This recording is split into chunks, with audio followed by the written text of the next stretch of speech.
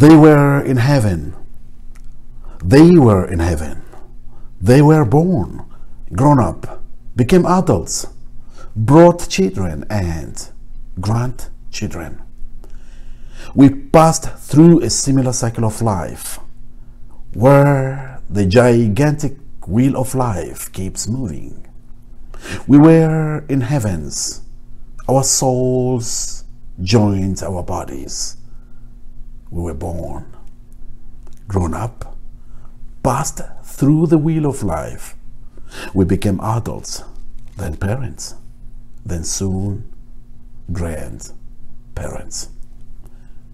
And finally, sooner or later, we will leave this world back to the heavens where our souls belong, in their eternal home.